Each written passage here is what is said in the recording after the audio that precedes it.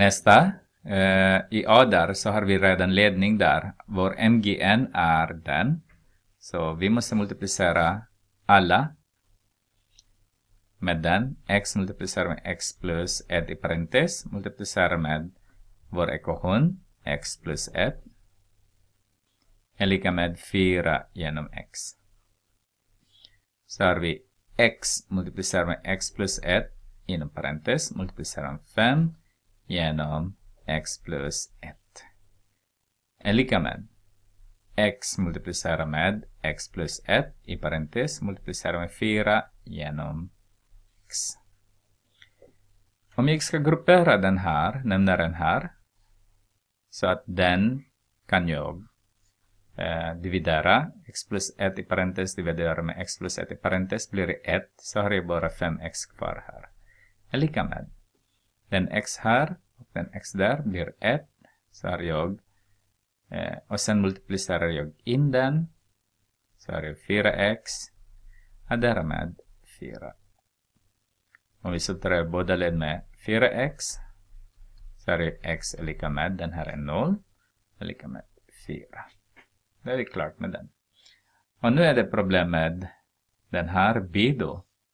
B som ni ser här, om vi följer EA, A, vår MGN är x multiplicerar med x är därmed 2 inom parentes. Och det är den som vi ska multiplicera in. Så har vi x, b där. x multiplicerar med x är därmed 2 inom parentes multiplicerar med vår ekvation n genom x är därmed 2 är lika med 3 genom x.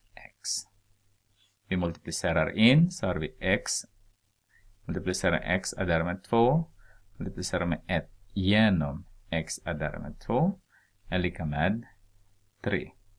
Multiplicera, förlåt, nu ändrade jag ordningen. Är lika med x multiplicerar x plus 2 multiplicerar med 3 genom x. Det spelar ingen roll om ni räknar också med 3 multiplicera. Om ni börjar med 3. Det spelar ingen roll. Men jag vill inte ändra ordningen. Så att ni är vana att se. Och då grupperar jag den här. Så att den här blir 1. Så är det bara x kvar där. Och den här blir ehm, 1. Um, så har jag, jag ska liksom multiplicera in nu.